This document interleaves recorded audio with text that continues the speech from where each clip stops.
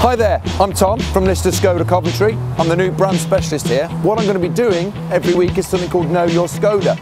Now, as usual, it's the height of the British summer, it's absolutely throwing it down, but Skoda have thought of that.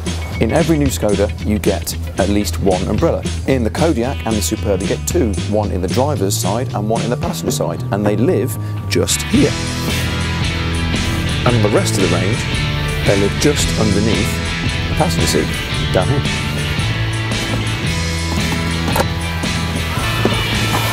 You. No, thank you. I bought my own.